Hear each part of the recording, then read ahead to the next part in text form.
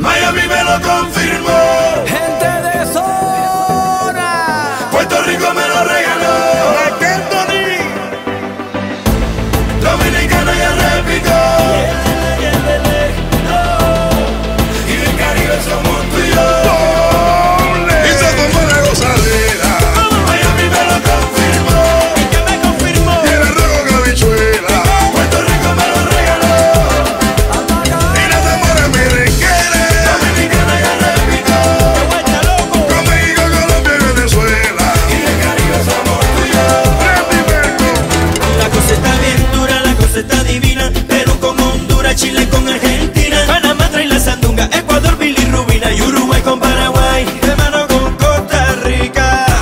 Bolivia viene llegando, Brasil ya está en camino, el mundo se está